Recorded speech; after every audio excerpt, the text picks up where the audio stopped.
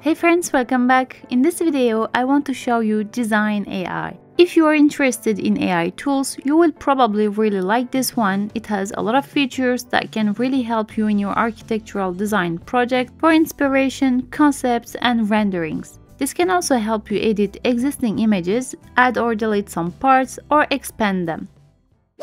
So here is the website. You have a free plan with 32 image credits per day. Then you can buy the beginner, creator and master plan depending on your needs. Let's log in or sign up and here is our dashboard. You have a lot of tools like image to image, image to video, text to video, insert objects, expand, upscale and more. As I usually do, I will start with text to image and see how this works. Let's write a prompt, select a style, one of the things I like with Dzine AI is that there are a lot of different styles you can choose from and they are really good. I will show you some of them. For now, let's try realistic. Then you will have options for the dimension of the image, color match or negative prompt. When we're done, tap on generate. We have then four images of our modern house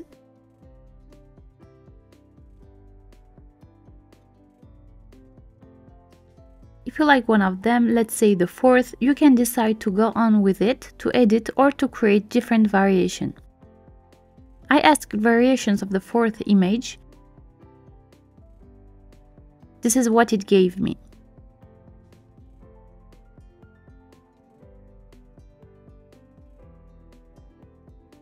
Now let's say I like the third, but I want to edit it, I will directly have access to the editor tool. From here I can select and add a prompt or I can erase some parts.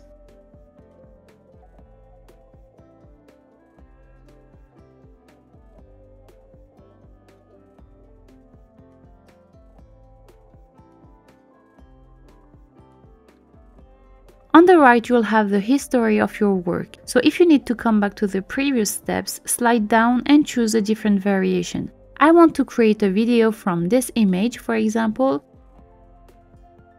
and this is what I get. I have tried the video creator for another image and I got this and this. The result depends on the video model you choose here. Now I will write a new prompt to show you the different styles you can use to create your images. As you can see, there are a lot of styles, some are realistic, other are illustrations or sketches. I will start with the styles Dzine Realistic V3. And the images are incredible. I will ask for some more variation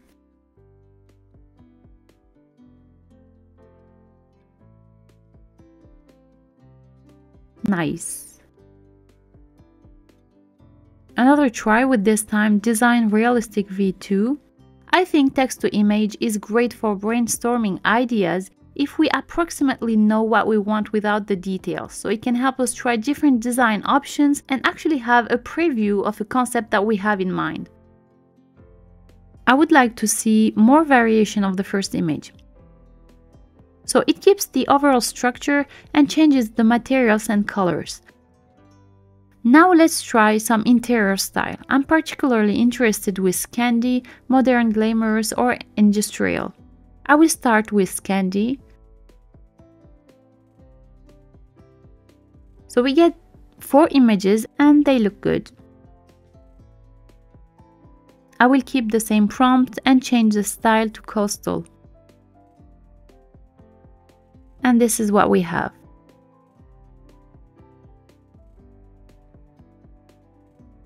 And now modern glamorous.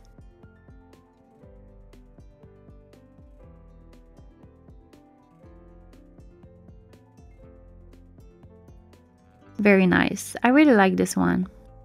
Alright, now let's try image to image.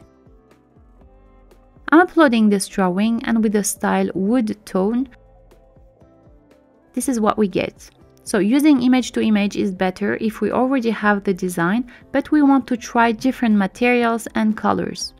Another illustration here with the style Dzine Realistic V3. and this is the result. I will upload one more and that's what we get. Well, that's nice. The best will be of course to write a more detailed prompt to get the right design. Alright, I will show you another tool now, it's Instant Storyboard. Here I will upload three images of a sofa, a planter and a rug. I write the prompt accordingly and generate. So it creates an image with the different images you upload. You can of course use this for more complex compositions.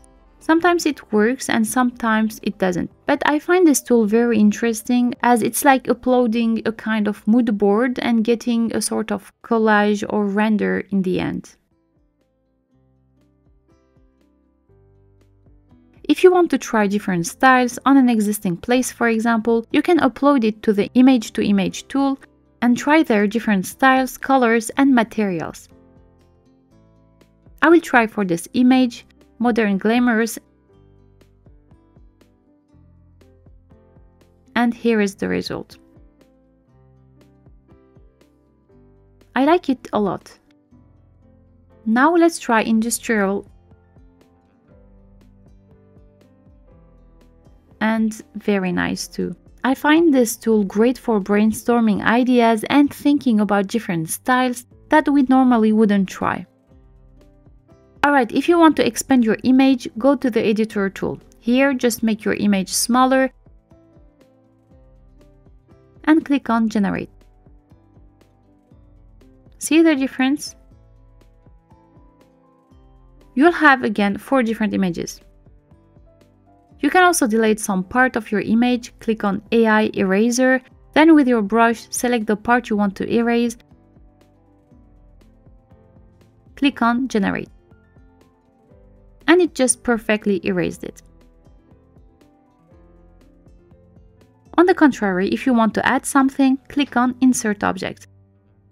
Write a prompt and add a reference image.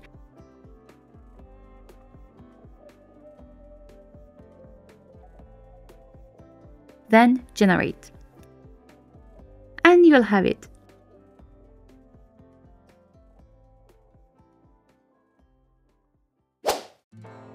That's it for this video. I think Dzine AI is a great platform for not only generating new ideas and concepts, but also editing existing images that gives a lot of control over design, which is very useful. Also, there are a lot of style preset that helps a lot in creating good compositions without requiring long prompts. And in this video, I only explored the styles that can be useful in the architecture field. Besides those, there are a lot of other styles that you can try.